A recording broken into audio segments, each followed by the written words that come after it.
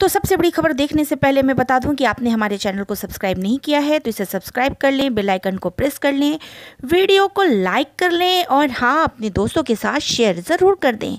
तो चलिए चलते हैं आज की सबसे बड़ी खबरों की तरफ़।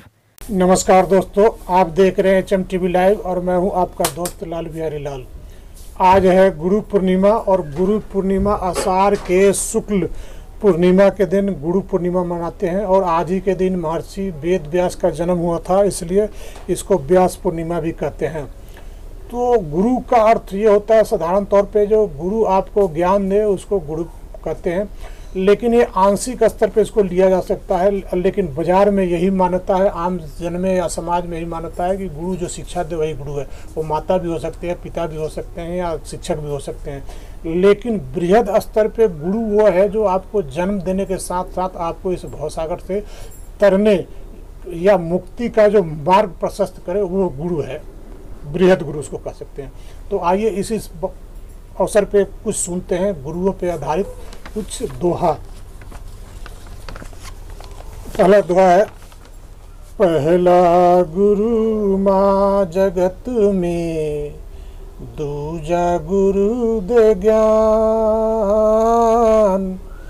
दम्भ हर कर दे, मानो लाल महान रे लाल, मानो बने महान। बिना गुरु ज्ञान जग में पा न पाया को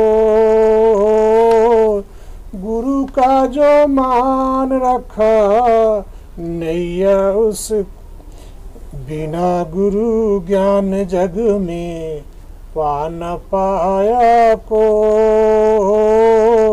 गुरु का जो मान रखा जग बैरी न हो रे लाल लाल बैरी न हो। गुरु को गुरु की तरह माने आज इंसान। उसका मान जग करे, हरि करे कल्याण रे लाल।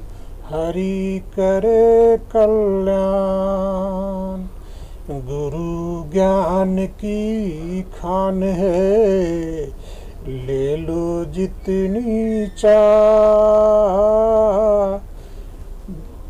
गुरु ज्ञान की खान है, ले लो जितनी चाह। भला करे बस हर घड़ी लाल खुलेगा राह रे लाल, राह खुलेगा लाल। गुरु बिन जग में कुछ भी नहीं, गुरु बिन जग में कुछ भी पाना नहीं आसान। गुरु बिन जग में कुछ भी पाना नहीं आसान। गुरु की कृपा हो जिस पर, उसका हो कल्याण रे लाल। उसका हो कल्याण।